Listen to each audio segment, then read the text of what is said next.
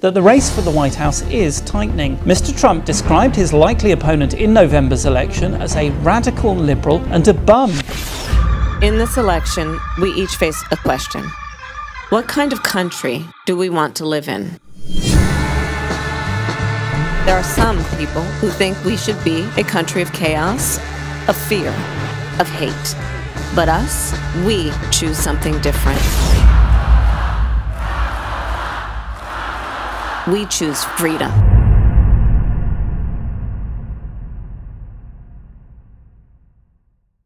ካማላ ሃሪስ ቀጣይዋ የዩኤስ ፕሬዝደንት የመሆን እድላቸው ምን ያህል ነው?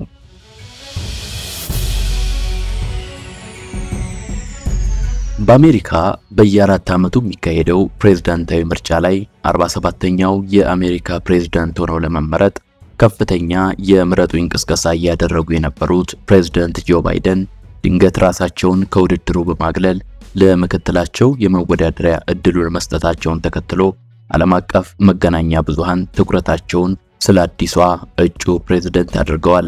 ካሚላ ሃሪስ በ2020 የጆ ባይደን ምክትል ፕሬዝዳንት ሆነው መመረጥ በአሜሪካ የፕሬዝዳንት ታሪክ ልዩ ሆነው እንዲታዩ ያደረጓቸው ምክንያቶች ነበሩ። ከነዚህም ውስጥ አንደኛው በአሜሪካ ታሪክ የመጀመሪያዋ ሴት ምክትል ፕሬዝዳንት መሆናቸው ሲሆን ሁለተኛው ደግሞ የመጀመሪያዋ ጥቁር አሜሪካዊት ሴት መሆናቸውም ጭምር ነው። ሶስተኛ ደግሞ ከስደተኛ ወላጆች የተገኘች የመጀመሪያዋ ኤዥያዊት አሜሪካዊት በመሆን አዳዲስ ሪካርዶችን ማስመዝገባቸው ነው። አሁን ደግሞ በመጪው ምርጫ ከተመረጡ የመጀመሪያዋ ሴት የአሜሪካ ፕሬዝደንት በመሆን የልዕለ ኃያሏን ሀገር ለመምራት ታላቅ ኃላፊነት ይቀበላሉ ማለት ነው።.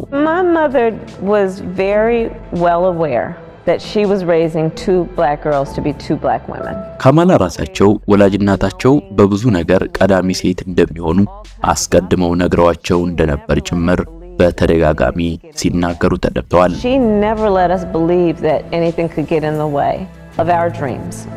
በአሜሪካ ታሪክ እንደ አውሮፓውያኑ አቆጣጠር በ2008 የመጀመሪያዋ የአሜሪካ ፕሬዝዳንት ይሆናሉ ተብለው የተጠበቁት ሂላሪ ክሊንተን ከባራክ ሁሴን ኦባማ ጋር ከፍተኛ የምርጫ ትንቅንቅ አድርገው ኋላ ላይ መሸነፋቸው የሚታወስ ሲሆን ከእርሳቸው በኋላም የኦባማ ባለቤት ሚሼል ኦባማ ይወዳደራሉ ተብሎ የተወራ ቢሆንም እውነት ሳይሆን ቀርቷል። በመሆኑም በአሜሪካ የ250 ዓመታት ታሪክ ለ46 ጊዜ በተካሄደ ምርጫ አንድም ሴት የአሜሪካ ፕሬዝዳንት ለመሆን አልታደለችም። ይሁንና ካማላ ካሸነፉ አዲስ የፕሬዝደንትነት ምዕራፍ እንደከፈቱ ይቆጠራል።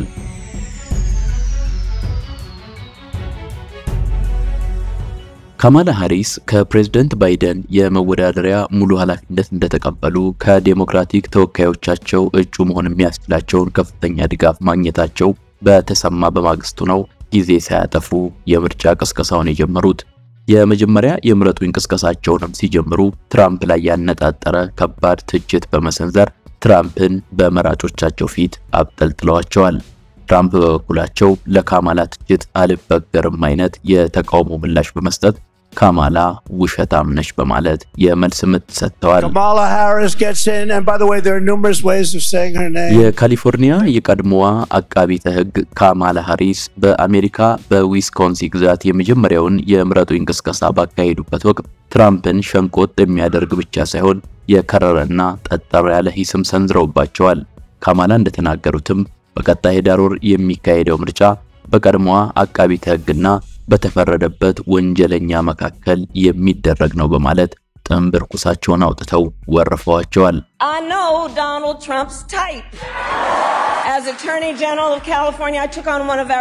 ካማላ. በዚህ ብቻም አላቆሙም።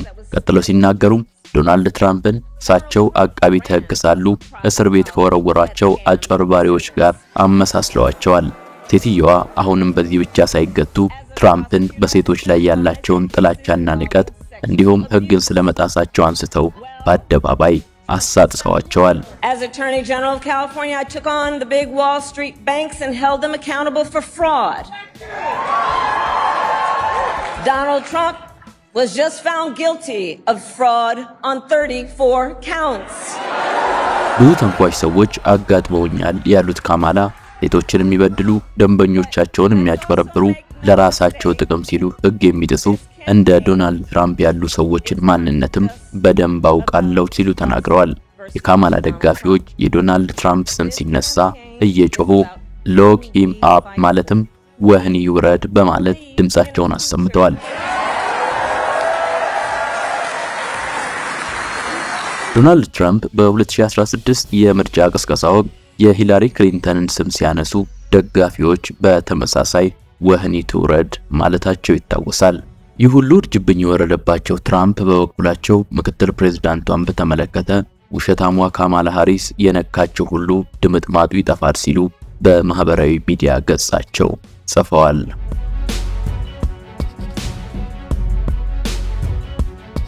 ከባይደንና ከሌሎች የፓርቲው አባላት ድጋፍ ያገኙት ካማላ ሃሪስ በአንድ ቀን ብቻ ደግሞ 100 ሚሊዮን ዶላር ከለጋሾች ማግኘታቸው ብዙዎችን አስደንቋል።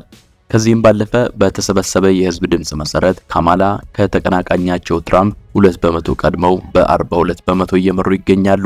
ትራምፕ ትሩዝ ሶሻል በተሰኘው ማህበራዊ ሚዲያ ገጻቸው ካማላ ሃሪስ በአሜሪካ ታሪክ ብዙ ተወዳጅ ያልሆኑ ምክትል ፕሬዝደንት ናቸው በሚል ለማጣጣል በመሞከር የህዝቡን ድምፅ ለጥፈዋል። ካማላ በበኩላቸው በምርጫ ቅስቀሳቸው ቅድሚያ ሰጣለው ያሏቸውን ሀሳቦች ለደጋፊዎቻቸው ይፋ አድርገዋል። የጦር መሳሪያ ቁጥጥር፣ የጽንስ ማቋረጥ አገልግሎት፣ የህፃናት ድህነት ቅነሳ፣ የሰራተኞች ማህበራት መብትና ለሁሉም ተደራሽ የሆነ የጤና አገልግሎት ከተጠቀሱት ፖሊሲዎቻቸው መካከል ናቸው። ካማላ ሃሪስ ይህን ድጋፍ ይዘው እስከ ምርጫው ድረስ ይዘልቃሉ ወይ የሚለው ግን በብዙዎች ዘንድ ጥርጣሬን ያስነሳ ጉዳይ ለመሆን ችሏል። ሪፐብሊካኖች ደግሞ ካማላ በምክትል ፕሬዝደንትነት ዘመናቸው ብዙ ስራዎችን አልሰሩም በማለት ከወዲሁ እያጣጣሏቸው ይገኛሉ። ትራምፕ በወረሃ መስከረም ከባይደን ጋር ሁለተኛ ዙር ክርክር ለማድረግ ቀጠሮ ነበራቸው። ነገር ግን ከምክትል ፕሬዝዳንቷ ጋር ቢሆን ክርክር ለማድረግ ዝግጁ መሆናቸውን ተናግረዋል። እንዲያውም ከጆ ባይደን ይልቅ ካማላ እንደሚቀሏቸው በመግለጽ የቀድሞ ፕሬዝደንት ዶናልድ ትራምፕ እና የምርጫ ቅስቀሳ ቡድናቸው ባይደን ፕሬዝዳንት ሆነው መቀጠል አይችሉም የሚሉ ትችቶችን በማህበራዊ ሚዲያዎች ማስተጋባት ከጀመሩ ቆይተዋል። በእርግጥም ትራምፕ እንዳሉት አንድ ፕሬዝዳንት በቀጣይ የምረጡኝ ቅስቀሳ ለመመረጥ ቅስቀሳ ከጀመረ በኋላ ራሱን ከምርጫ ሲያገል ባይደን የመጀመሪያው ሰው ሲሆኑ ይህ ደግሞ በአሜሪካ የምርጫ መስፈርት መሰረት ፕሬዝዳንቱ ራሳቸውን ከምርጫ ካገለሉ በኋላ የቀረቻቸውን ጥቂት የስልጣን ወራቶች አጠናቀው እንዲለቁ የሚፈቅድ ሕግ ስለመኖሩ ወይም ስላለመኖሩ በግልጽ የተቀመጠ ነገር የለም። ነገር ግን ከዚህ በፊት የፕሬዝዳንት ተርማቸውን ሳይጨርሱ ከስልጣን የለቀቁት ፕሬዝዳንት ኒክሰን እንደ ባይደን በጤና ጉዳይ ሳይሆን በሙስና ቅሌት እንደነበር አይዘነጋም። ባይደን የድጋሚ ምርጫ ቅስቀሳቸውን ለማቆም የተገደዱት ዴሞክራቶች በባይደን የአእምሮ ጤናና ትራምፕን በማሸነፍ ችሎታቸው ላይ እምነት በማጣታቸው ሲሆን ፕሬዝደንት ባይደን በበኩላቸው ካማላ ሃሪስ የፓርቲው እጩ እንዲሆኑ ድጋፋቸውን መስጠታቸው ትክክለኛ ውሳኔ እንደሆነ በርካታ የዴሞክራቲክ ፓርቲ አባላት ተናግረዋል። እንዲያውም ካማላ ልክ ኃላፊነቱን እንደወሰዱ ቀዝቀዝ ብሎ የነበረው የአሜሪካ ምርጫ ሞቅ ማለት መጀመሩን በርካታ ታዛቢዎች ይገልጻሉ። የባይደን መልሶ መመረጥ ጥያቄ ውስጥ የገባው በተለይም ፕሬዝዳንቱ ከትራምፕ ጋር በቅርቡ ባደረጉት ክርክር ደካማ አፈጻጸም ካሳዩ በኋላ በዴሞክራቲክ ፓርቲዎች በተነሳባቸው ከፍተኛ ተቃውሞ የተነሳ እንደነበርም አይዘነጋም።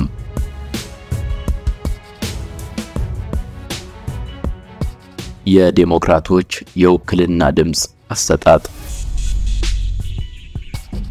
ምክትል ፕሬዝዳንቷ ካማላ ሃሪስ በሚቀጥለው ምርጫ እጩ ሆነው ለመቅረብ ከዴሞክራቲክ ፓርቲ ተወካዮች በቂ ድጋፍ ማግኘታቸውን የዘገበው ሲቢኤስ የተሰኘው የአሜሪካ ሚዲያ ሲሆን ከዚያ ወዲህ አንድ ጥናት የሰራው አሶሺየትድ ፕሬስ የተባለው የዜና አገልግሎት ደግሞ ካማላ ሃሪስ በመጀመሪያው ዙር ምርጫ ከ1976 በላይ የዴሞክራቲክ ፓርቲ ተወካዮች ድጋፍን ማግኘታቸውን ይፋ አድርጓል።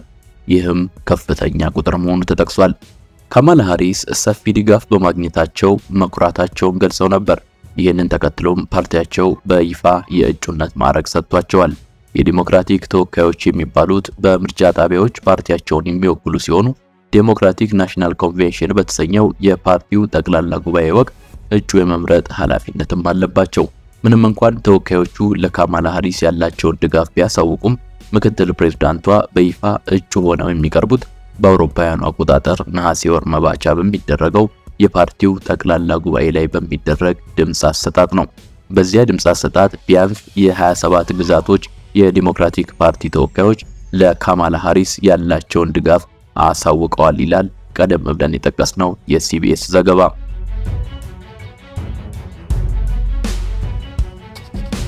ከባይደን መግለጫ በኋላ በሚሊዮን ዶላሮች የሚገመት የገንዘብ ድጋፍ ወደ ካማላ ሃሪስ የምርጫ ዘመቻ ካዝና ገብቷል።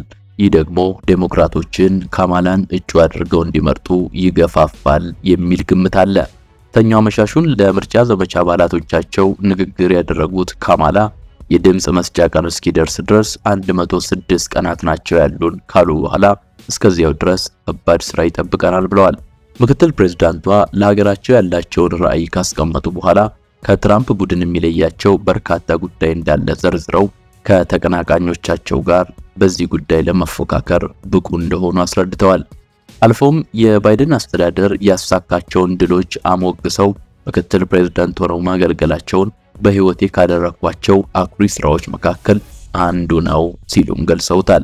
ካማላ ሃሪስ ንግግር ለማድረግ ወደ መድረክ ከመውጣታቸው በፊት በሚቀጥለው ምርጫ እንደማይሳተፉ ያሳወቁት ባይደን ስልክ ደውለውላቸው ነበር። ለካማላ ሃሪስ ስልክ የደወሉት ባይደን ለረዳቶቻቸው ባስተላለፉት መልእክት እርሷ በጣም ምርጧ ስለሆነች ተቀበሏት ሲሉም ተናግረዋል። እኔ የትም አልሄድም ያሉት ባይደን የምርጫ ዘመቻ ቡድናቸው ላደረገው ጥረት ምስጋና አቅርበው ምክትላቸው በሚያደርጉት ዘመቻ የበኩላቸውን ለመወጣት ያላቸውን ቁርጠኝነትም አስታውቀዋል።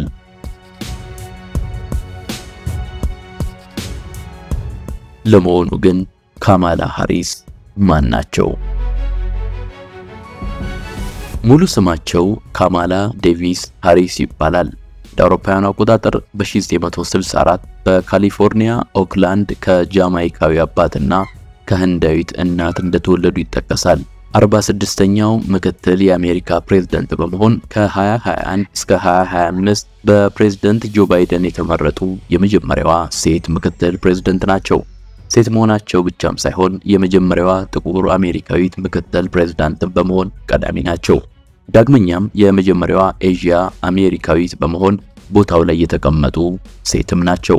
ለአሜሪካ ምርጫ እጩ ፕሬዝዳንትነት ከመመረጣቸው ቀደም ብሎ ከ2011 እንደ አውሮፓውያን እስከ 2017 ድረስ የካሊፎርኒያ ጠቅላይ አቃቢተ ሕግ በመሆን ያገለገሉ ሲሆን ከ2017 እስከ 2021 ደግሞ የዩኤስ ሴኔት ውስጥ አገልግለዋል። ከሁለት የተማሩ ወላጆች እንደተወለዱ የሚጠቀሱት ካማላ ሃሪስ ወላጅ አባታቸው በስታንፎርድ ዩኒቨርሲቲ ታዋቂ የዩኒቨርሲቲው መምህር እንደነበሩ ይነገራል። ወላጅ እናታቸው ደግሞ ታዋቂ የካንሰር ተመራማሪ ናቸው። ከወላጅ አባታቸው በላይ ከእናታቸው ጋር የጠበቀ ግንኙነት የነበራቸው ካማላ በሕፃንነታቸው ከእናታቸው ጋር በተደጋጋሚ ወደ ህንድ ይጓዙም ነበር። በህንድ ደቡብ በምትገኘው ታሚል ናዱ ዋና ከተማ በሆነችው ቺናይ ከተማ ከእናታቸውና ከእህቶቻቸውም ጋር ይጓዙ ነበር። ለአውሮፓውያን አቆጣጠር በ1986 ከሃዋርድ ዩኒቨርሲቲ በ political science እና በኢኮኖሚክስ የመጀመሪያ ዲግሪያቸውን ያገኙም ሲሆን ሁለተኛ ዲግሪያቸውን ደግሞ እንደ አውሮፓውያኑ አቆጣጠር በ1989 ከሃሲንግሰን ኮሌጅ በህግ አግኝተዋል።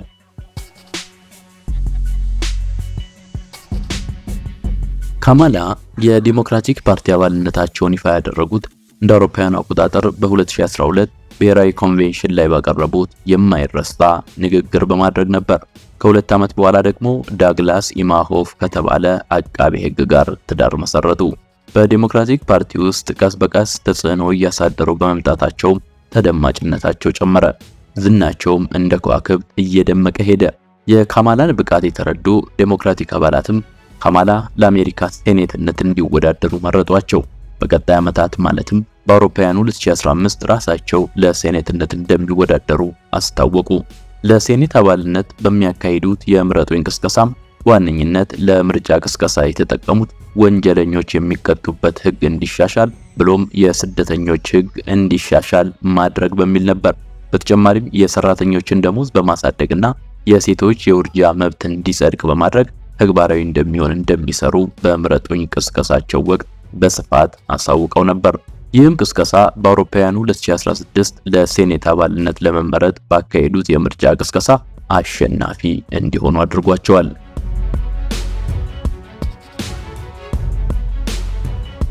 እንደ አውሮፓውያኑ አቆጣጠር በ2017 በወርሃ ጥር በአሜሪካ ሴኔት ውስጥ የመጀመሪያዋ ህንዳዊት አሜሪካዊት በመሆንና ሁለተኛዋ ጥቁር አሜሪካዊት ሴት በመሆን የሴኔቱ አባል ሆኑ። በዚህም በህግ አውጪውና intelligence ኮሚቴን ጨምሮ ተደራራቢ ስራዎችን ለመስራት ተገደዋል። ካማላ በስራቸው ቆፍጣናና ጠንካራ በመሆናቸው ብዙ ጊዜ በሴኔት ውስጥ የሚቀርቡ ጥቃቅን ስህተቶችን ሳይቀር አጉልተው በማቅረባቸው የተነሳ በሪፐብሊካኖች ዘንድ ብዙውን ጊዜ ተቃውሞና ትችት ይሰነዘርባቸዋል። አንዳንዴም ጠንከር ያለ ቁጣ ሲሰማባቸው ይደመጣል። ካማላ ሃሪስ በ2020 የዴሞክራቲክ ፓርቲን ወክለው ፕሬዝደንት ሆነው ለመወዳደር ይፋ ሲያደርጉ ከፍተኛ ተፎካካሪ በመሆን ከዘለቁ በኋላ በገጠማቸው ፈተና የተነሳ ድንገት በታህሳስ 2019 ራሳቸውን ከምርጫ ውድድር አገለሉ።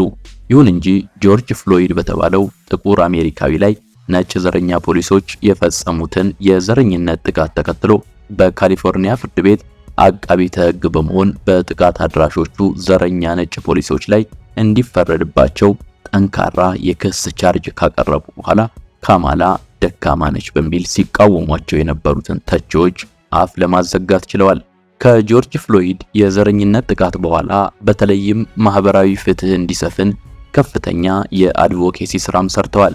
ምንም እንኳን አሜሪካ ስለ ዴሞክራሲና የሰብአዊ መብት መከበር በመለፈፍ ራሷን የዓለም ቁንጮ እንደሆነች ብትገልጽም በአሜሪካ ዘረኝነት በጣም አሳሳቢ ጉዳይ መሆን ከጀመረ ሰነባብቷል። ታዲያ ባይደን ለ2020 ምርጫ ሲወዳደሩ ካማላን ምክትል ፕሬዝዳንታቸው እንዲሆኑ መምረጣቸው ለዘመናት የተገመደውን የዘረኝነት ስንክሳር ለመበጠስ በማለም ነበር ያሉ ብዙዎች ናቸው።